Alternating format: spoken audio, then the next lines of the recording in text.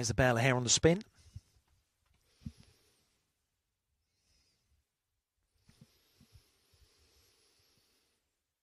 Lids and away.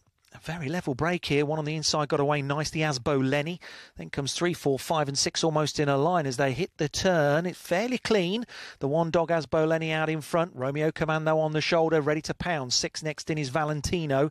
Then comes the three dog Dapper Mac, two in the blue. Cachise has got a lot to do from there. And now Romeo Command takes it up, kicks on. Looks like a winning break from the five dog and favourite as they come off the turn. It's Romeo Command in full control.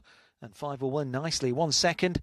A long way back in third, the stripes of Valentino. 5 1 6. Romeo Command for Patrick Janssens. An easy winner.